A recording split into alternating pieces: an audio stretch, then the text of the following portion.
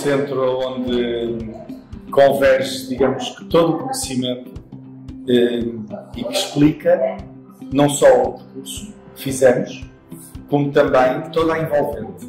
Porque o objetivo dos percursos de teste e da sua dinamização é também dinamizar as comunidades locais, como estamos a constatar.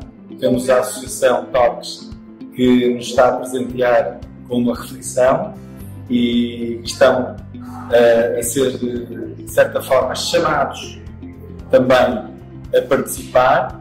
Temos todo o património histórico-cultural e, evidentemente, a cereja do cimo do bolo, este território natural, património natural que todos uh, vimos durante a caminhada e este centro tenta explicar, de certa forma, todas as vertentes que a natureza tem. O nosso Conselho é muito rico em experiências. O nosso Conselho eh, tem património religioso, eh, nomeadamente a Nossa Senhora da Assunção, que é única, é um, um património, aliás, diocesano, é um santuário diocesano, portanto destacaria património religioso, património histórico.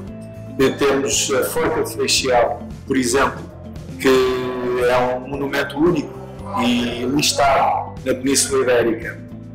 Temos também eh, ainda reminiscências do Paleolítico com pinturas, eh, com reminiscências de castros.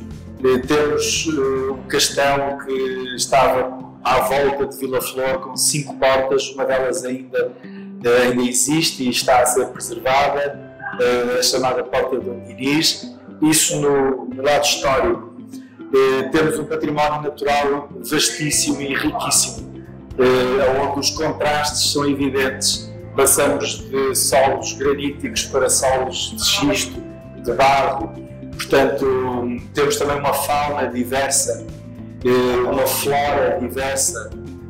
É uma paixão. O tu é uma paixão. Apaixonamos-nos, é como Vila Flor. É uma terra de alma e cor, que também rima com amor.